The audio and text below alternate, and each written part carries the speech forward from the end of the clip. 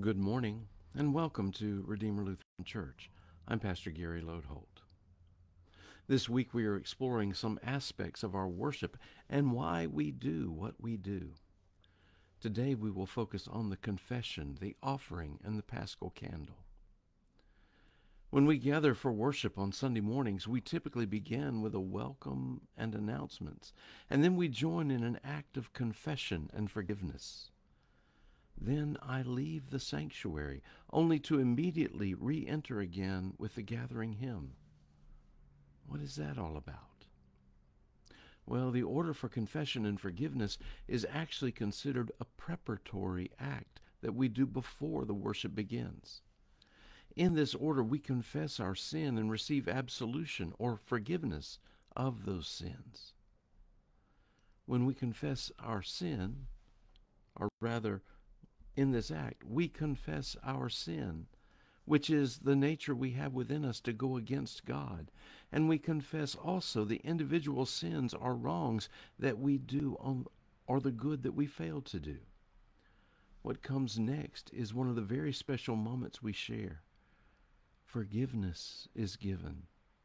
Jesus gave the church the power to forgive sins on behalf of God, and so the forgiveness that is proclaimed is not some general statement that God forgives our sin, but rather in that moment the pastor forgives your sins acting on behalf of God. While on occasion the pastor might just announce a general declaration that God forgives your sins, most weeks the pastor is actually forgiving your sins. Wow. Then you may notice the pastor leaves the sanctuary and then re enters as the worship of God begins. That's a visible symbol of what is happening. Now the worship begins. Having been forgiven, our natural response is to offer God our praise and worship and thanksgiving.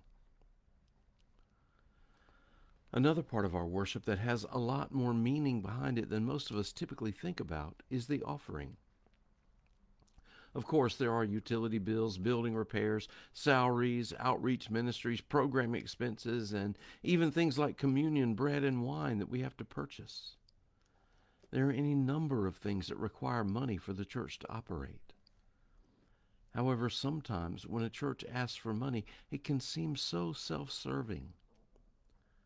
Here's the truth it is self serving to you. You see, the offering is our chance to respond to God. We respond in gratitude for the blessings God has given us. We respond to the love and grace of God in our lives. In worship, the opportunity to respond is offered after we have worshiped and praised God together in song. We've heard God's word of salvation to us in gospel and sermon. We have confessed our faith together using a creed. And then, having turned to God in prayer, trusting that God will hear us.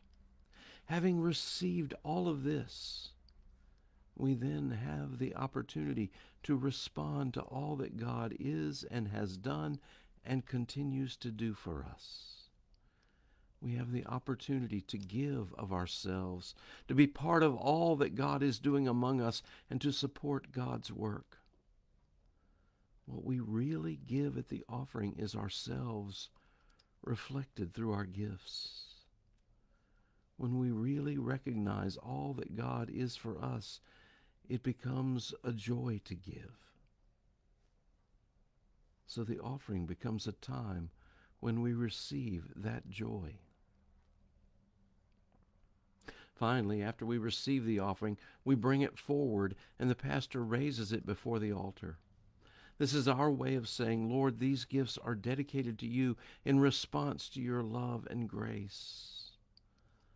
While the pastor raises them, he or she typically says something like, Lord, give your church wisdom to use these gifts as you would have us use them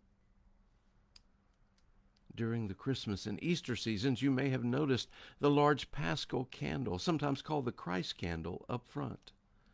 This candle is used whenever there's a special emphasis on the presence or work of Christ among us. The word paschal comes from an old Hebrew word for Passover and refers to God's saving action for us. So, one of the primary times the Christ candle is used is at Easter. It is lit on Easter and throughout the Easter season as special as a special pointer to the salvation Jesus brings. We also light it during the Christmas season as we celebrate Christ's birth among us. The candle is also prominent and up front at baptisms to mark the presence of Christ and to highlight how God is making the person being baptized God's child. Likewise, it is lit at funerals to remind of baptism that the gift of salvation was given to this person and that Christ is with us in our grief, offering comfort, hope, and assurance. And that's why we do what we do. Thanks for watching, and remember to let this day belong to God.